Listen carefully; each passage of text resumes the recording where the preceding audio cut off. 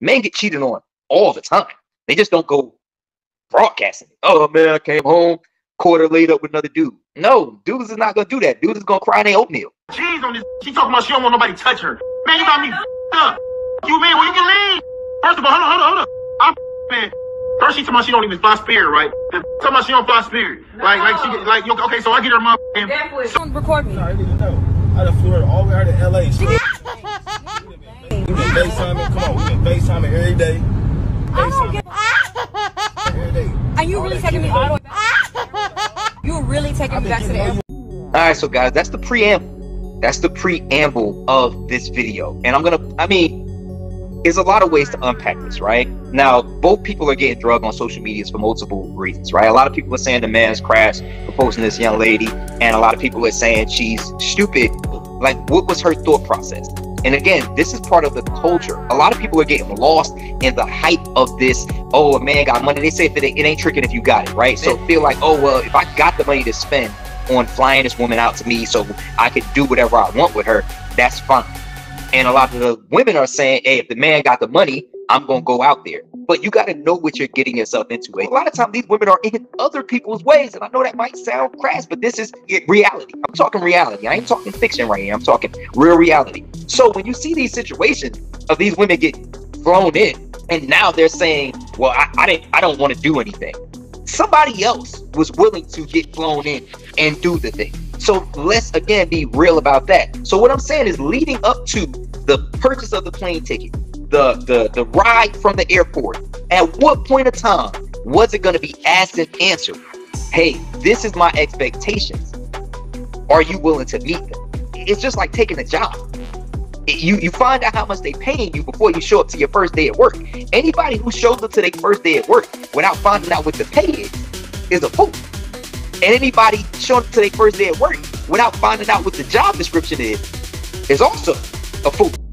And any employer who doesn't discuss that preemptively with the prospective employee is also a fool. It leads for everybody to be disappointed, upset, feel some kind of way, lost in du- ditch or whatever. I mean, if you if you think realistically, right? If you were on the other side of town and it was 2 a.m. and you're texting with somebody, we've all been there for the most part. You're texting somebody and you're deciding on if you're gonna go there or if he's gonna come to you or vice versa. It's some type of conversation being had about the reason that somebody is gonna show up to your place at one, two, or three o'clock in the morning. Nobody just says, "Hey, what you doing? What you up to?" Uh, it's two in the morning. Hey, yeah, come on over. Usually, it's something implied there. Nine times out of ten. So if you made it all the way on a plane, all the way to another state, and you want to get me to believe that it was no type of conversations had ipso facto before, I I don't believe that. I don't believe that in the least bit. Now, again, some of it could be naivete. Like the guy said in the video multiple times, you knew it was up. Does that mean that it was asked and answered? Does that mean it was spoken on, or does that mean it was implied? Because for that guy to decide he wanted to buy that plane ticket for that woman, he had to see something in her, connect with her in some way, shape, or form. Nine times out of ten, on Instagram because he kept talking about his exposing her Instagram. So nine times out of ten, it's the Instagram, you know, probably popular girl, Instagram model, or whatever. When something bad happens to a man, a man is less likely to like report it or scream it out to the world. The, the average guy's not doing that. They say men cheat more than women. No, women scream to the high heavens about being cheated on more than men. Men get cheated on all the time. They just don't go broadcasting. Oh man, I came home, quarter laid up with another dude. No, dudes is not gonna do that. Dudes is gonna cry in their oatmeal.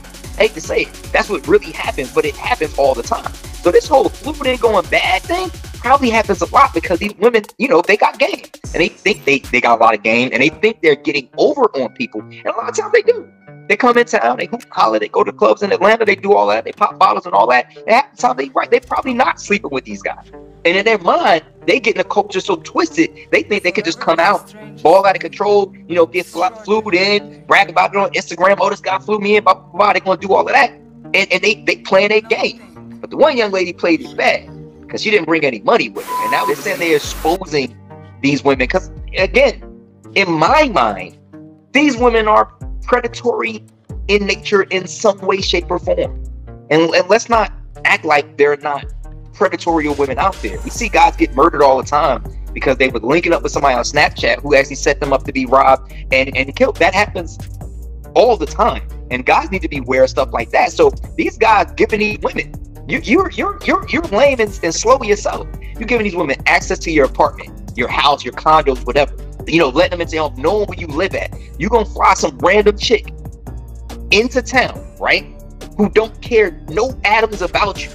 You're gonna tell her where you live at. Already let her know that you, you got money because you're gonna be you, just the fact of the matter of flying her in. You're trying to show off that you got these type of funds, these type of assets. You flying her in, gonna let her know where you live at. Let her know what your place look like. Let her know what you got in your place. For her to just call somebody quick and be like, oh yeah, you know, as soon as I fly out, you come rob this dude, come break in this dude's house. This is the other side of the the flewed in culture that people don't see. A lot of people out here with money shouldn't have money. Some of these people is is lame and not hip to the game or reality. And a lot of times these women are slicker than the men. But then in some instances like this one, it just goes awry. It just it just goes a little bit to the wayside where guy, I to say like kind of stands up for himself and says, Hey, listen, you, you knew what it was. You knew why I flew you out here. I didn't fly you out here to take you to, to, to Capital Grille. I didn't fly you out here just to take you to the club so, so I could show you off. And yes, part of that was supposed to be part of that, but that's not why you're here.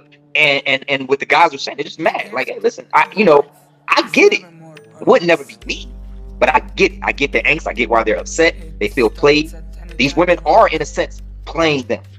And then resting on the laurels of, hey, this is, you know, my body, my choice which they of course have the right to do. Damn near six, seven hundred last minute, right? Okay. So plus our bags, check in, all that shit. We go get it over all that shit. Then I'm getting there at two G's already. So we get here. First night I'm being I'm being a whole gentleman. I'm being a whole gentleman. Have you not? Have I not been a gentleman to you though? Have I not did anything? But you should have knew what it was if I flew you out.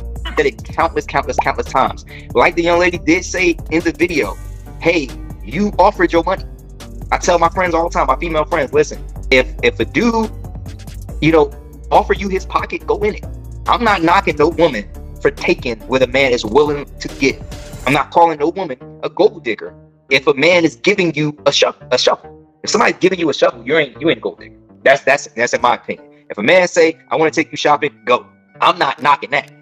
But going shopping and getting flown across the country, I think it's a level of expectation that goes with that. First, I don't condone flewed out culture. So first, my my first disclaimer. I, I think it's a bad idea for just many reasons. I'm not going to get into morals and all that stuff, but I will say um, I will get into safety. It you kind of touched on it.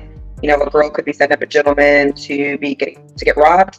Um, human trafficking is a real thing, so I don't see why people or women, you know, just want to be so cavalier and leisure about their livelihood and their lives. I get it sounds fun, but a lot of women have horror stories from someone messaging them saying, let me fly you to Dubai, let me fly you to this country, let me fly you here. A lot of those women then end up in a situation where they are being like human trafficked. They are taken advantage of. Um, these gentlemen in the video that you're showing, they're very upset. But fortunately for these women, these women weren't raped because yeah, I think these women were, you know, in a closed place with these gentlemen. There's tempers that are flaring.